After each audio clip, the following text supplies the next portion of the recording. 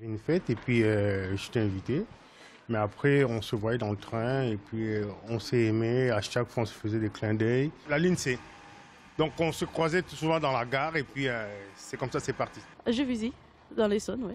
Et on a une petite fille de 10 ans. C'était au collège Paul Éluard à Sainte-Geneviève-des-Bois. Mais je me suis mis avec euh, elle il y a un an. Oh, j'ai rencontré sur internet. moi.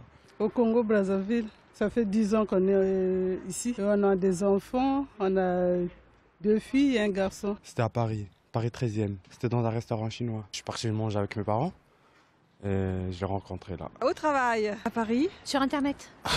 C'est vraiment difficile, hein Au lycée, chez moi, euh, au Congo. À la Bastille, devant la Banque de France. On voyait que les gars ils partaient travailler, la femme partait travailler. On était souvent côte à côte. Bonjour, ça va, comment vas-tu?